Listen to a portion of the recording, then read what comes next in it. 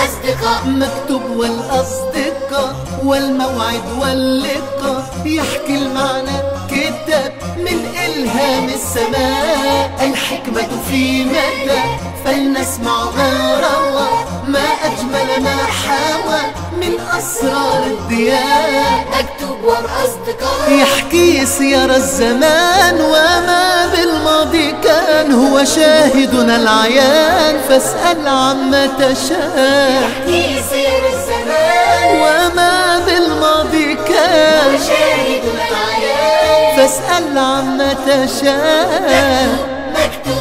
والأصدقاء مكتوب والأصدقاء والموعد واللقاء. يحكي المعنى كتاب من إلهام السماء. مكتوب والأصدقاء. يروي للسامعين قول الهادي الأمين ورسول العالمين وإمام الأنبياء. يروي للسامع آه قول الهادي الأمين. رسول العالمين وإمام الأنبياء مكتوب مكتوب والأصدقاء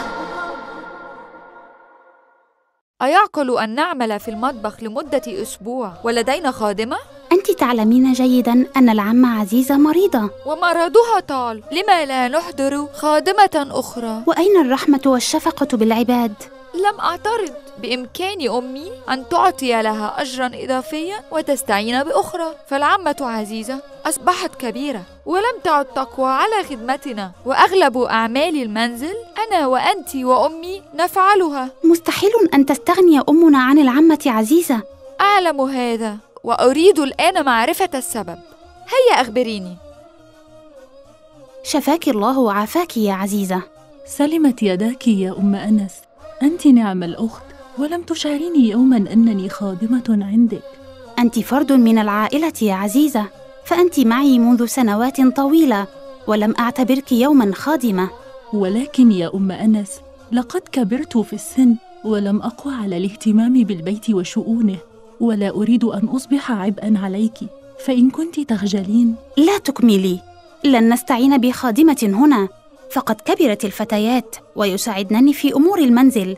وأنت تفعلين كل ما في طاقتك. هيا ارتاحي.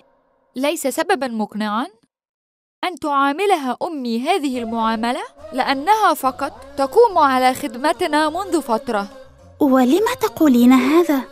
إن أمي تحب هذه العجوز حبا جما فهي تبكي وتحزن عند مرضها. لقد كانت أحيانا تغضب منا بشدة.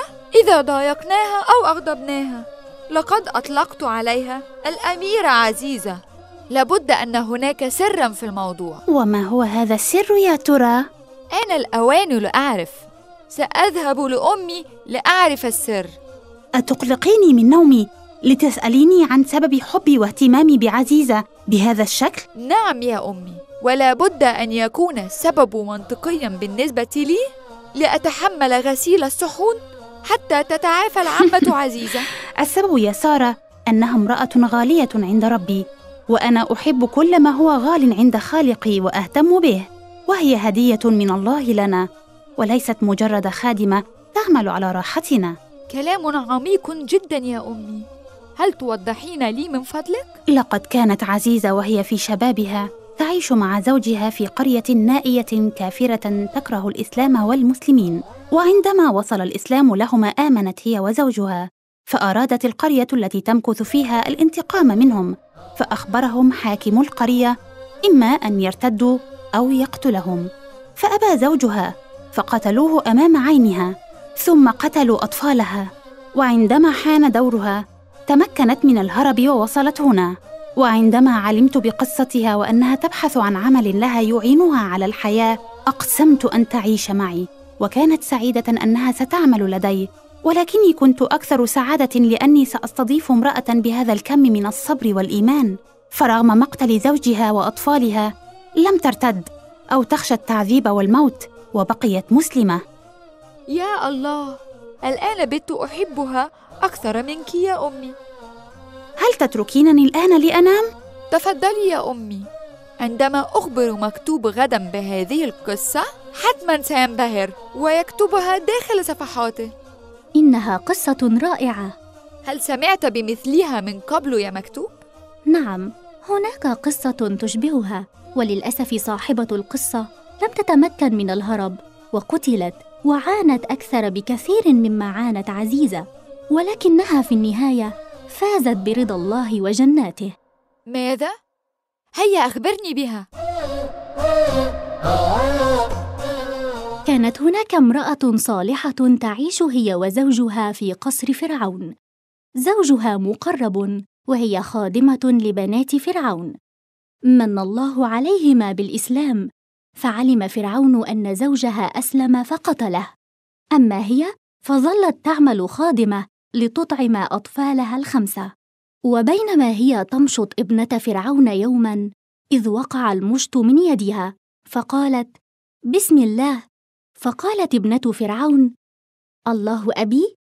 فصاحت الماشطة بابنة فرعون كلا بل الله ربي وربك ورب أبيك. فتعجبت البنت أن يعبد غير أبيها. أخبرت البنت فرعون فدعا الخادمة وسألها عن ربها فقالت ربي الله. فدعاها للتراجع فلم تهتز فأحضر قدرا وغلى به زيتا وأوقفها أمام القدر ثم أحضر صغارها فلما رأوها تعلقوا بها فانكبت عليهم تقبلهم وتشمهم وتبكي وضمت أصغرهم لحضنها ثم أمر فرعون بأكبرهم فجره الجنود إلى الزيت المغلي. والغلام يبكي ويصيح يا أمي وينادي إخوته الصغار ويضرب الجنود بيديه وأمه تبكي وتودعه. فما هي إلا لحظات وذاب الصغير ولم يتبقى سوى عظامه تطفو. فأمر فرعون المرأة بالرجوع ولكنها أبت. فأمر بالولد الثاني وفعل به ما فعل بأخيه. ثم بالثالث حتى الرضيع لم يرحموه وأخذوه.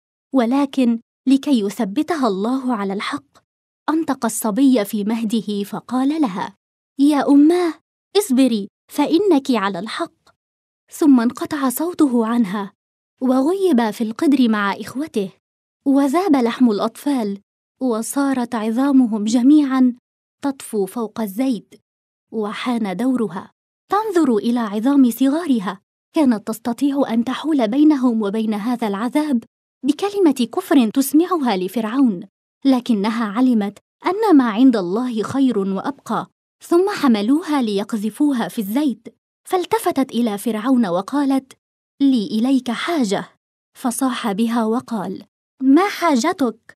فقالت أن تجمع عظامي وعظام أولادي فتدفنها في قبر واحد.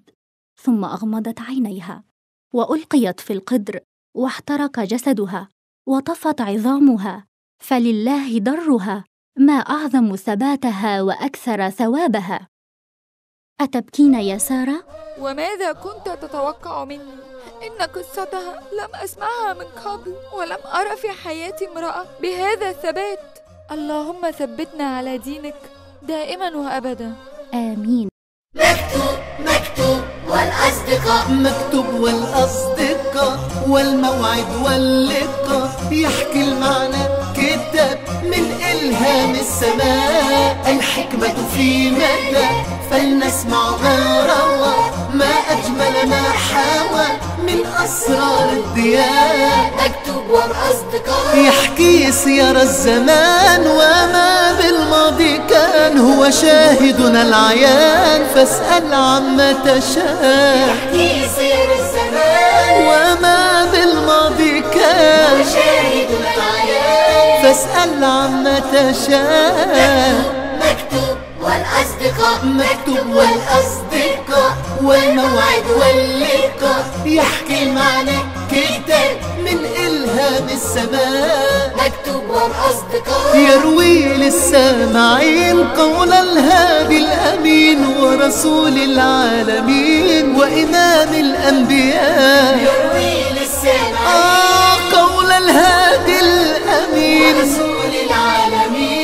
وإمام الأنبياء. مكتوب مكتوب والأصدقاء.